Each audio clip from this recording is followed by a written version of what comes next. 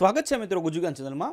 આ વિડીયોની અંદર આપણે વાત કરવાના છીએ કે તમે ડ્રાઇવિંગ લાઇસન્સનું તમે એપ્લિકેશન આપો અને તમે ડ્રાઇવિંગ લાઇસન્સની જે ટેસ્ટ આવે છે, પહેલાં તમારે લર્નિંગ લાઇસન્સ તમારું નીકળે છે અને પછી તમારે એનો ટેસ્ટ આપવાનો હોય છે. ટુ વ્હીલ હોય ફોર વ્હીલ હોય કે હેવી હોય. તો એ તમે ટેસ્ટ દરમિયાન જો તમે ફેલ થયા હોય, તો એની માટે તમારે રીટેસ્ટ આપવાનો હોય છે. તો એ રીટેસ્ટ માટે તમે કઈ રીતે સ્લોટ બુક કરી શકો અને પછી તમે એની ફી કઈ રીતે પે કરી શકો, એની વાત આપણે આ વિડીયોમાં કરવાના છીએ.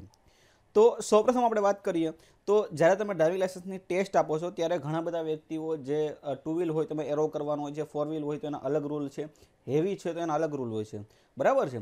તો જ્યારે તમે ટેસ્ટ આપતા હોય, ત્યારે જે એના રૂલ પ્રમાણે તમે સેટ ના થયા હોય અને તમારે ફેલ થઈ ગયા હોય, તો એની માટે તમારે રિટેસ્ટની એપ્લિકેશન આપવાની હોય છે સાઠ દિવસ પછી. સાઠ દિવસ પછી તમે એ રિટેસ્ટની એપ્લિકેશન આપો તો એની માટે તમારે સ્લોટ બુક કરવાનો હોય છે અને એ તમારે જે ફી હોય છે એની, એ ફી પે કરવાની હોય છે. પછી તમે છે એ સેકન્ડ ટ્રાય આપી શકો છો. તો જો એ તમારે આપી હોય, તો સૌપ્રથમ તમારે સ્લોટ બુક કરવાનો છે અથવા તમારે ફી પે કરવાનો છે, જે તમે કરવું હોય તે કરી શકો છો. એની માટે જે પરિવહનની ઓફિશિયલ વેબસાઇટ છે, એની લિંક તમને ડિસ્ક્રિપ્શનમાં આપી દઈશ. પરિવહન ડોટ જીઓવી ડોટ ઇન એમાં તમારે અહીંયા ઓનલાઈન સર્વિસ અને અહીંયા ડ્રાઇવિંગ લાઇસન્સ રિલેટેડ સર્વિસ એની ઉપર તમારે ક્લિક કરી દેવાનું છે. પછી અહીંયા આપણે આપણું સ્ટેટ સિલેક્ટ કરી લઈએ છીએ.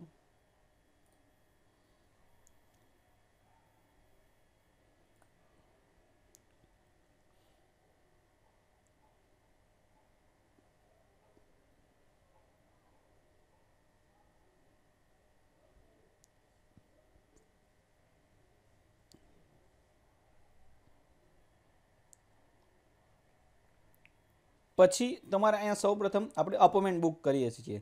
તમે ડ્રાઇવિંગ લાઇસન્સમાં ટેસ્ટમાં ફેલ થઈ જાઓ, પછી સાઠ દિવસ પછી છે તમે રિટેસ્ટ માટે એપ્લિકેશન આપી શકો છો. તો આપણે અપોઇન્ટમેન્ટની અંદર અહીંયા ડીએલ સ્લોટ બુકિંગ પછી અહીંયા તમારે ડીએલની અંદર એપ્લિકેશન નંબરથી પણ કરી શકો અને એલએલ નંબરથી પણ કરી શકો છો. તો અહીંયા તમારે લર્નિંગ લાઇસન્સ નંબર તમારો લર્નિંગ લાઇસન્સ ઓલરેડી ઇસ્યુ થઈ ગયો છે. તમે ટેસ્ટમાં ફેલ થયા હોય ત્યારે. બરાબર છે? તો અહીંયા તમારે તમારો એલએલ નંબર નાખી દેવાનો છે.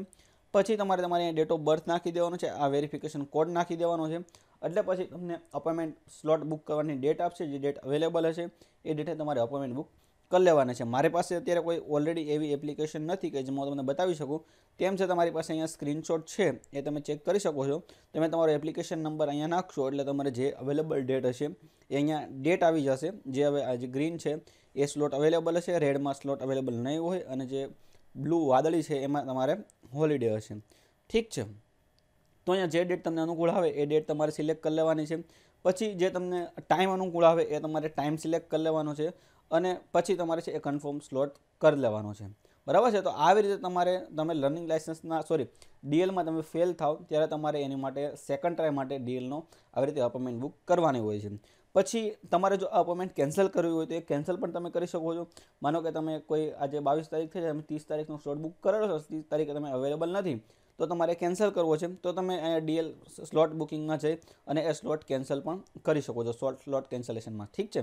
અહીંયા સ્લોટ કેન્સલેશન અને કેન્સલ ડીએલ સ્લોટ એની પર તમારે ક્લિક કરી દેવાનું છે.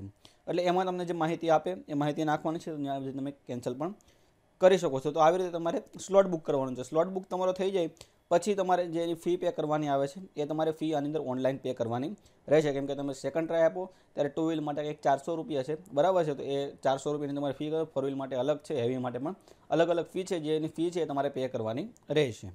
તો એ ફી કરવા માટે આપણે પાછા બેક આવતા રહીએ છીએ પરિવહનની અંદર.